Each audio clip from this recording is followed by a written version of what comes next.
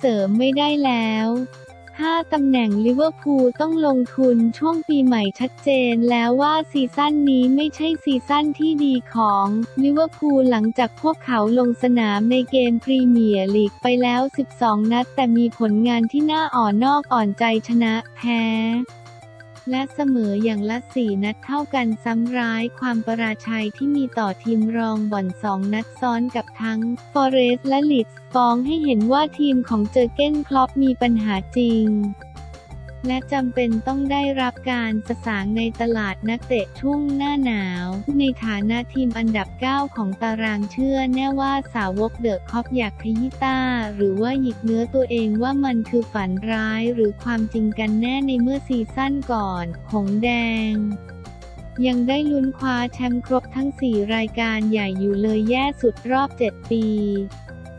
ย้อนดู line-up ชุดล่าสุดที่ลิเวอร์พูลออกสตาร์ทฤดูกาลสุดห่วย แฟร์ๆ กันหน่อย คล็อปป์กร้าวอย่าด่วนพิพากษาลิเวอร์พูลเหนือกว่าโอริกี้แค่เสี้ยวกูรูยันลิเวอร์พูลฝากความหวังนูนเยสไม่ได้แต่อย่างที่บอกในเมื่อขุนพลที่มีอยู่ไม่อาจพาทีมคว้าผลลัพธ์ได้ ลิเวอร์พูลก็จำเป็นต้องใช้เงินอีกรอบ อย่างน้อยก็เพื่อเร่งเก็บแต้มกลับไปลุ้นคว้าพื้นที่ในอันดับ top four ให้ได้ โดยมีอยู่ 5 ตำแหน่งด้วยกันที่พวกเขาสมควรเสริมความแข็งแกร่งในช่วงปีใหม่หนึ่งเซนเตอร์ฮาล์ฟเท่าที่ผ่านมาลิเวอร์พูล ขึ้นชื่อกับการมีแผงหลังอย่างหนา โดยเฉพาะซีซั่นก่อนพวกเขามีสถิติเกมรับที่ดีที่สุดร่วมกับแมนซิตี้ทีมแชมป์โดยเสียประตูเท่ากับเรือใบสีฟ้าแค่ 26 ลูกเท่านั้น แต่สำหรับซีซั่นนี้หงแดงตาข่ายขาดไปแล้ว15 ครั้งทั้งทั้งที่ลงสนามไปแค่ 12 นัดเท่านั้น แน่นอนว่าเฟอร์จิลฟานไดค์ยังเป็นเซนเตอร์ฮาล์ฟที่ฝากความหวังได้ แต่ขณะเดียวกันฟอร์มของเขาก็ไม่ได้แข็งแกร่งเหมือนเดิมอีก ผมรู้ว่าผมน่าจะทำได้ดีกว่านี้ในต้นซีซั่น ผมไม่กังวลผมรู้ดีตอนที่ตัวเองก่อความผิดพลาดปราการหลังทีมชาติฮอลแลนด์ยอมรับในวัย 31 ปีจึงปฏิเสธไม่ได้เช่นกันว่าฟานไดค์อยู่ในช่วงขาลงแถมโชแอลมาติป คู่ขาที่มักล้มเจ็บบ่อยครั้งก็มีอายุ 31 ปีเท่ากัน แต่ครั้นจะให้ลิเวอร์พูลใช้บริการจากอิบราฮิมาโกนาเต้กับโจโกเมซก็ถือเป็นเรื่องที่เสี่ยงมหันต์ เพราะอย่างที่เห็นว่าทั้งคู่นึกจะเจ็บเมื่อไหร่ก็ไม่อาจมีใครรู้ได้ ตามรายงานข่าวมีการเปิดเผยว่าคล็อปป์ให้ความสนใจไปที่อาร์เมลเบลล่า-ค็อตชัปเซนเตอร์ฮาล์ฟทีม เซาแธมป์ตันโดยมองว่าเขาสามารถเป็นตัวแทนในระยะยาวของฟานไดค์นอกจากนี้ยอสโกกวาร์ดิโอลของทีมแอร์เบไลป์ซิกก็เป็นอีกตัวเลือกที่อยู่ในข่าย แต่ปัญหาคือเขามีค่าตัวที่แพงลิบลิ่ว และถูกหลายทีมในยุโรปรุมตอมสองแบ็คขวาทำไปทำมาเทรนต์อเล็กซานเดอร์ อาโนเผยให้เห็นถึงจุดอ่อนของตัวเองจนได้แม้เท่าที่ผ่านมาเขาจะเป็นกำลังสำคัญพาทีมประสบความสำเร็จ โดยเฉพาะอย่างยิ่งในเกมบู๊กับ อาร์เซนอลแบ็คขวาจอมบุกถูกกาเบรียลมาติเนลลี่เล่นงานอย่างหนักจนได้รับความอับอาย และถูกนักวิจารณ์สับแหลกหากผมต้องเล่นกับลิเวอร์พูลในตอนนี้สิ่งแรกที่ผู้จัดการทีมจะบอกก็คือ พาบอลบุกขึ้นไปทางซ้ายและดวลกับเทรนต์แบบตัวต่อตัวเพราะเกมรับของเขา เขาคือกองหลังระดับ League One เจมี่โอฮาร่าเปิดปากคอมเมนต์ เขามีเกมรับระดับ League One แต่เขามีเกมรุกระดับแชมเปี้ยนลีกเจอร์เก้นคลอปรู้ดีเขารักความสามารถในเกมรุกของเขา แต่เกมรับของเขามั่วมาก ผมรักเทรนต์ เขาเป็นนักเตะหนุ่มที่วิเศษและได้แชมป์ในซีซั่นเดียวมากกว่าผม แต่ในฐานะกองหลังเขาไม่ดีพอ เขาจำเป็นต้องทำงานในเกมของเขา เขาต้องติวเข้มในจังหวะดวลเดี่ยว เขาจำเป็นต้องสสางให้ได้อย่างไรก็ดีมีความเป็นไปได้ว่าฟูลแบ็กวัย 24 ปีอาจถูกย้ายให้เล่นเป็นมิดฟิลด์ในไม่ช้า เพื่อเปิดทางให้แบ็คขวาหน้าใหม่รับภาระแทนโดยเป็นที่เม้าท์กันว่า หงส์แดงส่งแมวมองไปดูฟอร์มของซาชาโบอี้ดาวเตะทีมกาลาตาซารายในเกมบู๊กับคอนยาสปอร์หรือไม่เช่นนั้นลิเวอร์พูลเองก็คว้าคัลวินแรมซี่มาร่วมทีมเรียบร้อยแล้ว หากอดีตขุนพลทีมดาร์บี้พร้อมลงสนามเมื่อไหร่ก็อาจทำให้ลิเวอร์พูลประหยัดเงินในจุดนี้ได้ 3 มิดฟิลด์ตัวรับไม่ใช่ความลับอะไรทั้งนั้นที่ลิเวอร์พูลถูกมองว่าสมควรเสริมทัพในจุดนี้มากเป็นอันดับหนึ่ง ก็ในเมื่อจอร์แดนเฮนเดอร์สันกับฟาบินโยพากันโชว์ฟอร์มได้อย่างกระท่อนกระแท่นซะเหลือเกินในซีซั่นนี้ ขณะที่นาบีเกอิต้า เจมส์มิลเนอร์และอเล็กซ์ออกเลดแชมเบอร์เลนกำลังจะหมดสัญญาในช่วงซัมเมอร์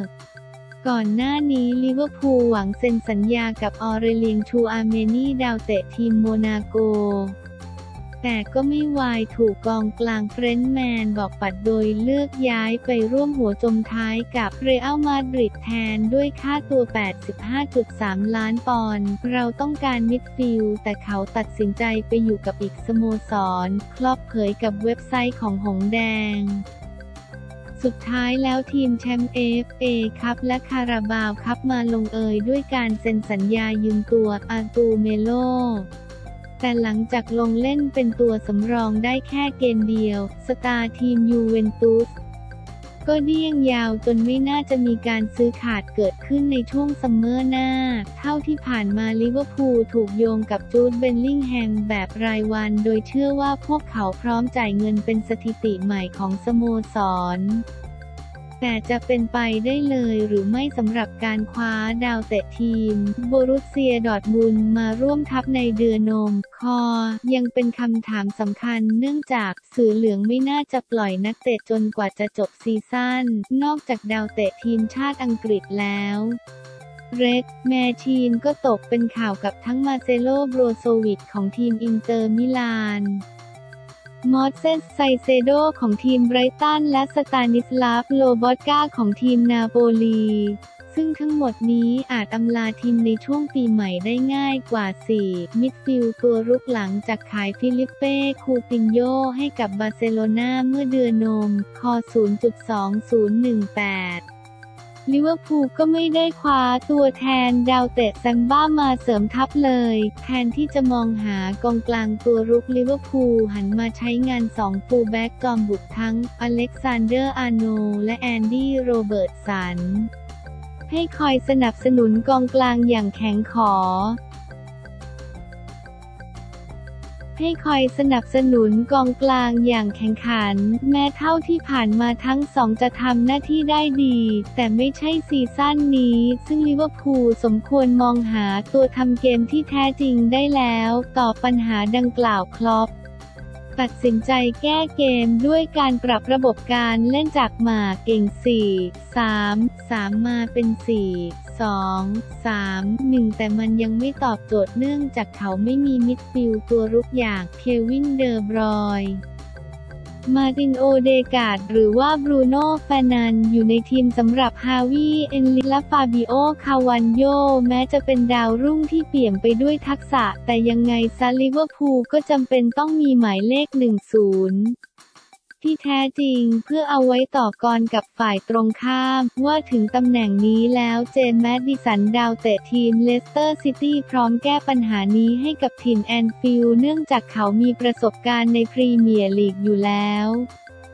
แถมอันตรายในจังหวะสับไกด้วย ซึ่งเป็นสิ่งที่ลิเวอร์พูลกำลังโหยหาห้าปีกอันที่จริงลิเวอร์พูลควักจ่ายในจุดนี้ไปมากแล้ว แต่มันยังไม่มากพออยู่นั่นเองในเมื่อผลงานของสโมสรถอยหลังลงคลอง เครื่องจักรสีแดง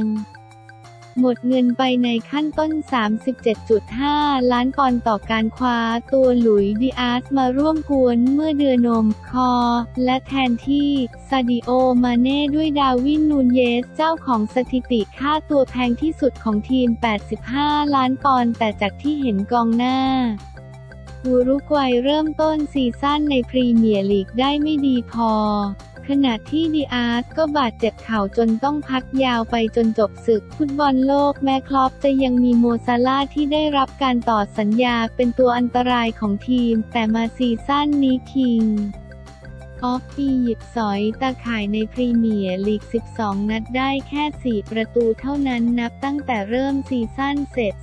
2018 ส่วน 19 ดาวเตะแอฟริกันลงเล่นในลีกอังกฤษไปแล้ว 17,967 นาที ซึ่งไม่มีพ่อค้าแข้งคนไหน ไม่นับรวมผู้รักษาประตู ลงสนามมากไปกว่าเขาอีกแล้วในระยะเวลาที่เท่ากัน และในซีซั่นเศษ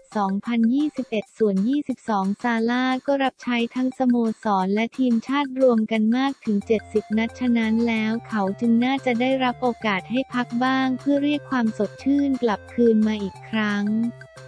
และหากลิเวอร์พูลคิดแบ่งเบาภาระให้กับดาวเตะวัย 30 ปีตัวเลือกที่น่าสนใจก็มีทั้งโคดี้คัปโปของทีม PSV ไอนด์โฮเฟนและมิไคโลมูดริกของทีมชัคตาร์ โดเนตส์ก